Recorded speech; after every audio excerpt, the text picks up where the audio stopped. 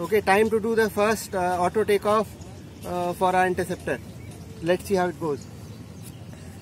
Okay, switching to auto. Okay, right.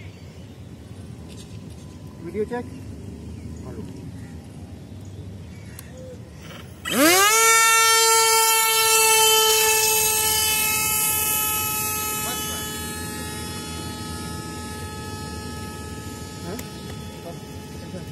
A1.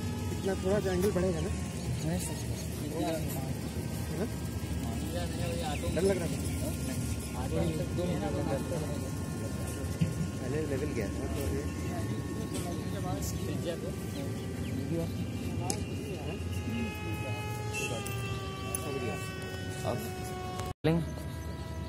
Auto takeoff went very well. The auto takeoff has gone very well. The plane is on auto now. Uh, it's right there. And uh, we have a square waypoint. Uh, we have four waypoints given in a square shape. It is following very well, very smooth. And uh, now we land and uh, there's some other equipment we need to add like an OSD and some other things.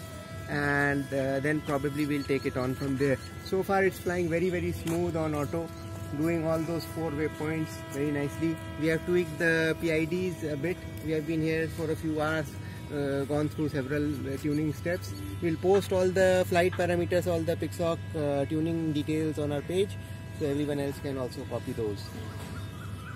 Very very smooth and uh, good so far. So now time to come in and land.